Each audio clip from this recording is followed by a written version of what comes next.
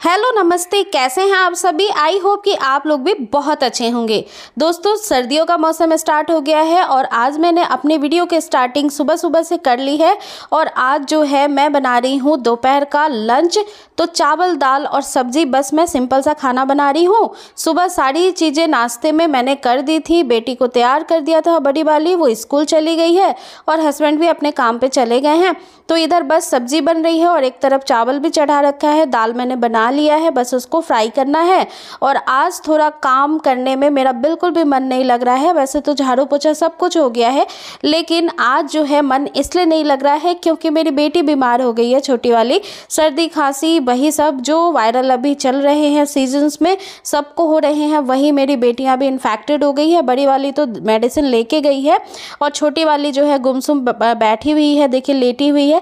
इसको मैंने दवा वगैरह दिया है, कुछ खा पी नहीं रही है। इसे कुछ भी अच्छा नहीं लग रहा है तो मेरा भी मन थोड़ा सा अच्छा नहीं है। तो मैं सोच रही हूँ, जितने सारे काम मैं जल्दी जल्दी से कर लूँ, उतना ज़्यादा अच्छा है और मेरे हस्बैंड आ जाएँगे तो फिर वो इसे अच्छे से हैंडल करेंगे, इसे अच्छे से रखेंगे, इसके पास बैठेंगे, बाकी मैं फिर काम जो है एक्स्ट्रा वो निपटा लूँगी। तो इसी वजह से सामान जो आप देख रहे हैं इधर उधर बिखरे हुए, ये सब कुछ मैं अरेंज अभी नहीं कर पाई हूँ। और यही हाल मेरे बेडरूम का भी है, थोड़े बहुत कपड़े भी निकले हुए हैं धुलने के लिए तो ये सभी मैं कल में, कल मशीन में डाल दूँगी। सुबह सुबह तो धुल जाएँगे, आज नहीं धोने वाली हूँ मैं। और सर्दियाँ काफ़ी ज़्यादा स्टार्ट हो गई है। यहाँ पे, हमारे यहाँ पे, आपके यहाँ पे कैसा हाल है? आप मुझे ज़रूर बताइएगा।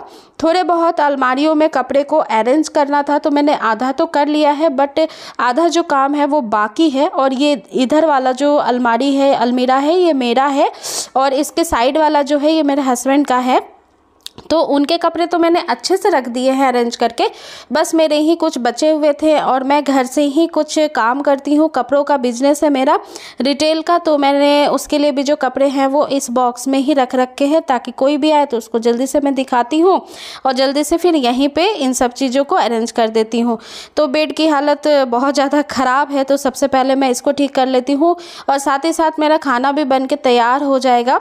तो जल्दी जल्दी से काम इसी तरह से अरेंज करने पड़ते हैं। जब घर में कोई भी नहीं होता है हेल्प के लिए तो एक ही बार में दो तीन काम को मैं निपटाने की कोशिश करती हूँ। तो फटाफट से पहले जो हैंगर के कपड़े हैं, वो हैंगर में डाल देती हूँ, जो रेगुलर वाले होते हैं, और बाकी के कुछ कपड़े ऐसे हैं, जो मुझे अलमारी में सेटल्ड करने हैं तो वो मैं कर रही हूँ।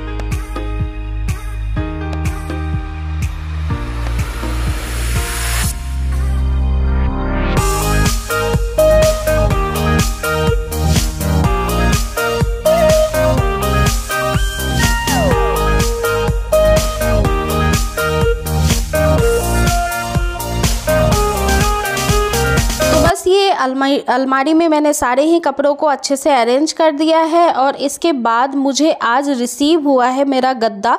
मेरे बेड का एक्चुअली जो गद्दा है ना, वो नहीं था, पुराने वाले बेड का ही था और हमने जब से इस घर में शिफ्टिंग करी है, जब से बेड मेरा नया बना है बेडरूम का, उसके साइज़ का गद्दा नहीं बनवाया था क्योंकि वो कॉस्टली पड़ रहा था।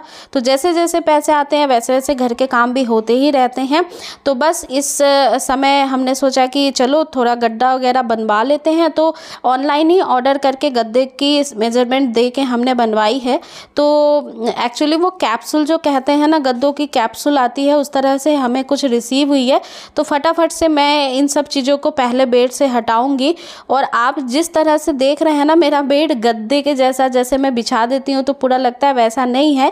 ये हाफ़ गद्दा है, पहले मेरा इसी साइज़ का बेड था तो मैंने इस गद्दे को हाफ़ में बिछा रखा है। नीचे के कुछ पोर्शन में मैंने जो है ब्लैंकेट्स को इस तरह से अरेंज कर रखा था कि वो बिल्कुल ही सेप में लगे और गद्दे के जैसा दिखने में लग जाए। तो अभी मैं फटाफट से पहले इन सब चीज़ों को हटाती हूँ और उसके बाद मैं दिखाती हूँ कि मुझे कैसा गद्दा रिसीव हुआ है और वो बिछने के बाद कैसा लगेगा। तो ब्लैंकेट्स को भी मैं पहले एक साइड कर लेती हूँ बेड को पूरा ही खाली कर लूँगी और ये सारी चीज़ें जो है ना बेड के अंदर चली जाएँगी क्योंकि बेड के अंदर बहुत स्पेस है, कुछ भी मैंने नहीं रख रखा है, थोड़ी बहुत चीज़ें हैं। तो ये सारी सारी ही चीज़ें बेड के अंदर काफ़ी ईज़िली पहुँच जाएँगी।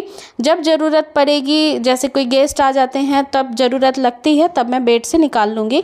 इधर देखिए, ये कैप्सूल का जो गद्दा होता है ना मतलब कैप्सूल इसको बोलते हैं। और ये इस तरह से कुछ रिसीव हुआ है। मुझे ऐसे पैक है ये, बहुत ही अच्छे से पैक है। लेकिन बाप रे भगवान, मैंने इसको निकालने के लिए कितनी कोशिश की बट ये नहीं निकला, क्योंकि ना मशीन से पैक होता है, मुझे नहीं पता था। और ये बैग में से निकल ही नहीं रहा था। लास्टली मुझे बैग को कैंची से, जहाँ से ये स्टिच किया हुआ था, वहाँ से काट कर निकालना पड़ा।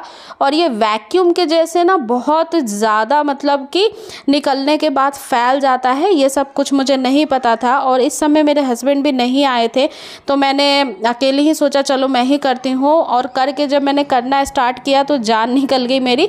बट देखिए, गद्दा बहुत ही अच्छे से सेट हो गया है बेड पे। हाफ़ इंच का मार्जिन आपको दिख रहा है क्योंकि वो बाद में सेटल्ड हो जाएगा जब गद्दा बैठेगा अच्छे से। तो देखिए, कुछ ऐसा मेरे रूम का लुक आया है, मैंने अच्छे से इस पर जो है बिछा दिया है और ये बेडशीट नहीं है। एक्चुअली में ये बहुत ही पतला ओढ़ने का जो है कंबल ही है, लेकिन बेडशीट के जो है मेरे बेड के साइज़ का नहीं है, बनवानी पड़ेगी। और मेरी बेड थोड़ी बड़ी है, इस वजह से मैं बाद में परचेस कर लूँगी।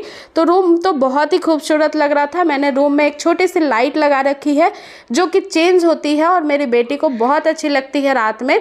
जिस तरह से उसको पसंद है, वैसे मैं इस लाइट को सेट कर देती हूँ और ये मात्र और मात्र हंड्रेड रुपीज़ में मुझे मिली थी। तो इसको मैंने इस तरह से पावर प्लग में लगा रखा है। दोस्तों, आ जाते हैं ज़रा किचन में वापस से और रात का भी मैं प्रिपरेशन काफ़ी जल्दी से स्टार्ट कर चुकी थी।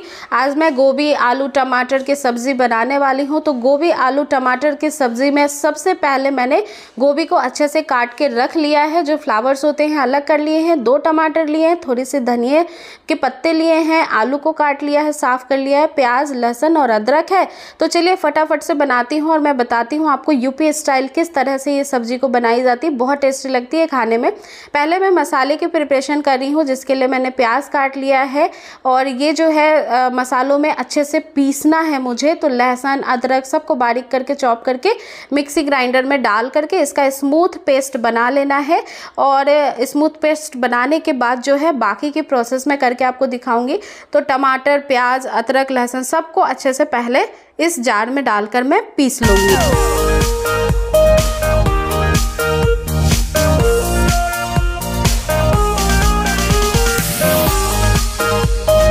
मैंने यहाँ पे गैस जला लिया है, गैस पे डाला है एक कढ़ाई। ये कढ़ाई मेरी लोहे की है, इसलिए आप ये मत सोचना कि कढ़ाई काली क्यों है।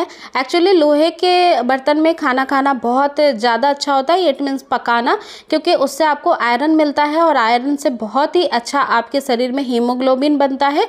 और जब मेरी पहली प्रेगनेंसी थी, तब मुझे डॉक्टर ने ये बोला था कि आपकी हीमोग्लोबिन परसेंटेज कम है।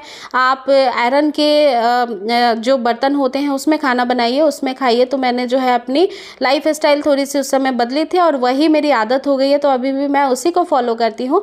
थोड़ा सा तेल कढ़ाई में डाल दिया है और डाले हैं मैंने गोभी और इसे अच्छे से मैं भून लूँगी। हल्के हल्के से ब्राउन स्पॉट्स इस पर लाने हैं, उसके बाद इसको अच्छे से तेल सेपरेट करके निकाल लेना है।